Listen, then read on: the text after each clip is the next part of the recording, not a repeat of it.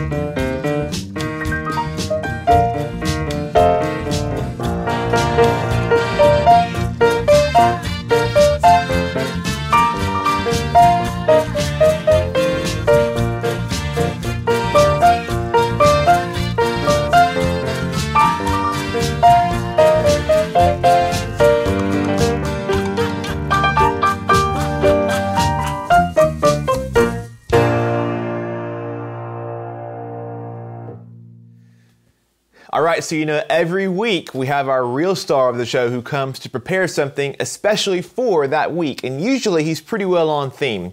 But we're reminded sometimes that Mr. Avery is, uh, he's going to be four soon, but he is a three year old. And sometimes when you're three years old, you just don't want to learn a new song and it just doesn't come together. And so that is a okay because Avery today is going to play for you one of his greatest hits, which is never a bad move. So would you please make welcome the valedictorian of the class. Here he comes, Mr. Avery Cramer Coleman. Hey, big boy, how are you doing? I'm just What- on the orange train. What is that orange train? Have you been playing with that with mommy back there? I'm playing the. Well, you have an orange train. That means do you have mm-hmm. what what song should you play for us today about an orange train? Hey, look, there's the trains. hey, what song should you play today? If you have an orange train, what song can you play? Do you know Are a song about an orange train? What is it? It's called the. Come here. It's called the. Orange. Blossom special. Orange Blossom Special. You want to do it? Yeah. All right. My God, then we- You got to sit on the left. Come here. Come here. This is one of Avery's favorites, and I think one of your favorites too. So we're going to give it a whirl here. Avery's choice. So you ready to go? All right, here, step beside me. You want to count it off? You got to do. Remember? Got to do your left hand like that. Ready? one, two, one, two, three, four.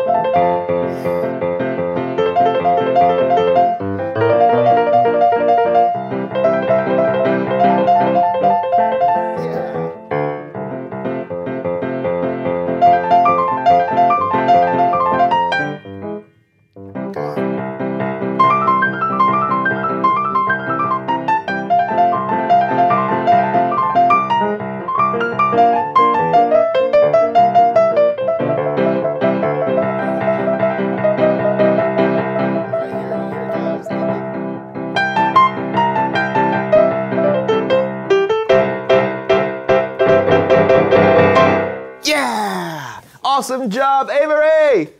Woo, woo, woo, woo! Good job, bud. Was that fun?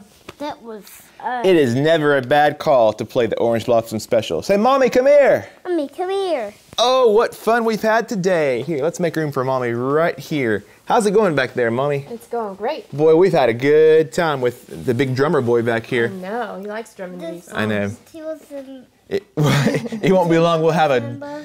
The whole family band. Avery on drums, mommy on her her 60s flute, mm-hmm. and then and daddy on the piano. We'll have all kinds of fun. So yeah, remember today we hit our class of 65 through 69, but next Sunday we're going to be finishing with part two. What are you doing, Mr. Wiggleworm? Part two of our class of concert hitting the 70s next year. So we'll see you next Sunday for that. And remember, you can watch this anytime on Facebook, YouTube, or my website at jasoncolemanmusic.com. And we have all kinds of fun. Uh, it's been a great year, and I got all kinds of fun in store for the for uh, what's coming up. Right, Bud? Right. Right. all right, go back to your snack. Thanks, Bud. Thanks, Mommy. And I'll leave you with one more song that is uh, the top of the class. This, I guess, was about class of 1960, a song written by my granddad, Floyd Cramer, Last Date.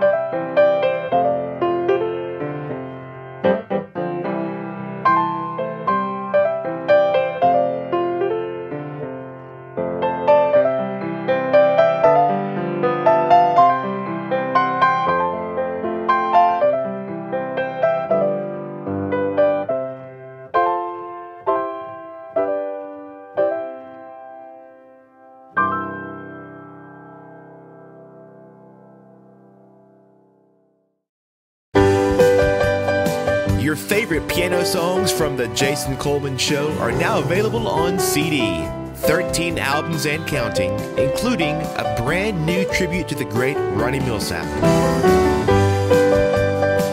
Plus the iconic songs of Elvis Presley.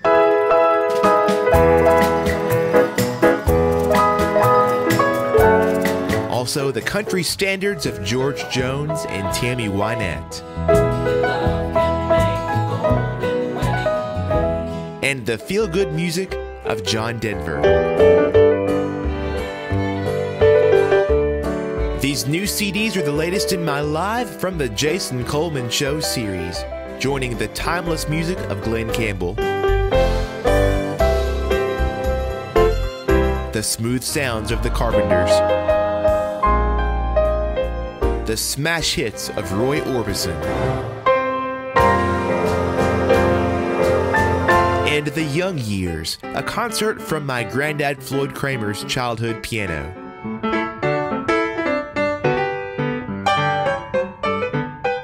Plus a gospel piano concert, Hymns from the Heart.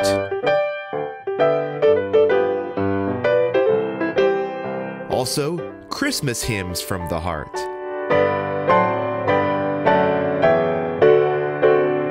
And don't forget my country gold piano collection spanning the greatest country hits of the 50s and 60s, the 70s and 80s, and the 90s and 2000s. All 13 of these live from the Jason Coleman Show CDs are on sale now. Get the entire collection in one discounted bundle or check out our mix and match deal. Buy any three and get your fourth CD free. Order online at jasonmusicstore.com or call 833 633 8885 to order over the phone. So if you're a fan of our Sunday shows, now you can enjoy the music anytime on CD, live from the Jason Coleman Show. Order yours today. You're listening to The Jason Coleman Show on WSM Radio.